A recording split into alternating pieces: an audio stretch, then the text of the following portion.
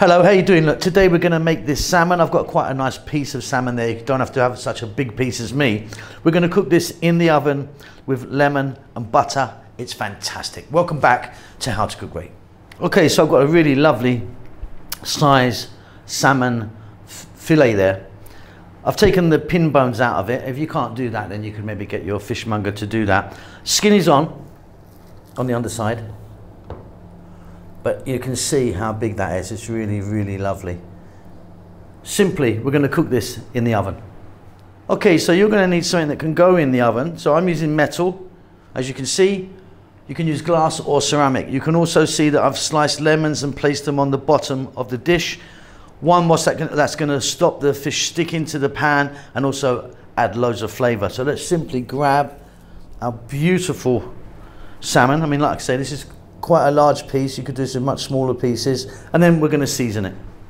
Salt and pepper first and put it all over the lemon as well. Season the kind of the whole pan and season well.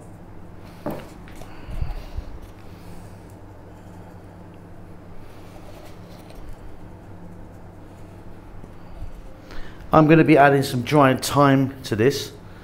You could be changing that herb to something else entirely up to you.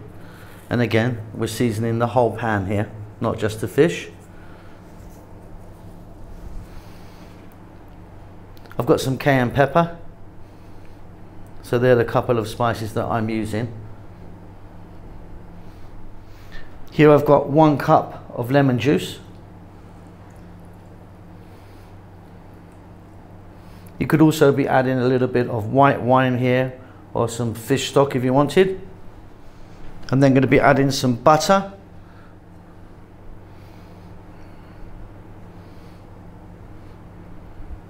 That's around about three tablespoons. And that's ready for the oven. What we're going to do is I'm going to cover that in foil, aluminium, aluminum, whatever you call it. I'm going to cover that over. That's going to go in the middle shelf of a preheated oven for about 12 minutes at this stage. There's two stages to this. The temperature around about 200. Okay, so that's out the oven. Let's get this foil off. Quite a lot of steam there, as you can see. And that does look really, really beautiful. And we've done pretty much all of the cooking. Now, what we're gonna do is it's gonna go back in the oven for like five or six minutes, just like that. No top on it, just to kind of get it happening. Okay, and there you go, absolutely beautiful. Now, what's happened is when we had the lemon juice in there, and the butter and we put the lid on, it steamed and cooked.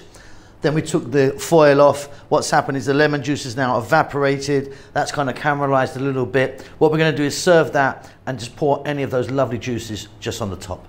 And there we have it. I've served it with the lemon in there as well. You can see I put some tomato, a little bit of fresh mint there and poured the butter or liquid that we had, which wasn't a lot, but poured that over the top. That is absolutely divine. I hope you enjoy that. Keep safe, keep well. I'll see you soon.